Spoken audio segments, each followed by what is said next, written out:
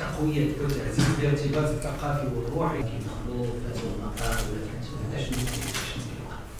عدد مهم من المغاربة المقيمين الخارج من الشعب الذي اذا اجتماع أهمية بالغه من بعد الخطاب ديال صاحب جلالة الله ينصرو في يعني خطاب ديال توراة الملك والشعب 69 اللي جاب عطى طريقة ديال خارطة ديال الطريق اللي هي جد مهمة واللي شوفنا اليوم في إطار هذا الاجتماع الوزاري كيفاش غادي ننزلوها الميدان وإن شاء الله باش نمشيو في إطار ديال التسهيل ديال العلاقة مع المواطنين المغاربة اللي موجودين في الخارج تسهيل بما يخص الاستثمار بما يخص